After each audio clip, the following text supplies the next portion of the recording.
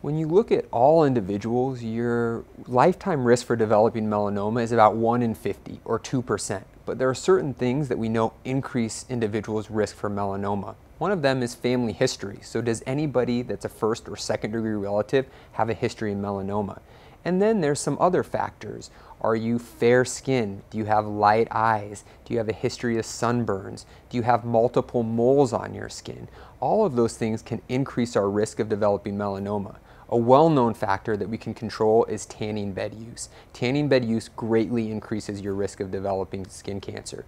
And then the, one of the last risk factors is immunosuppression. So if you're taking medications that decrease your immune system, this also increases your risk for developing melanoma and other types of cancers.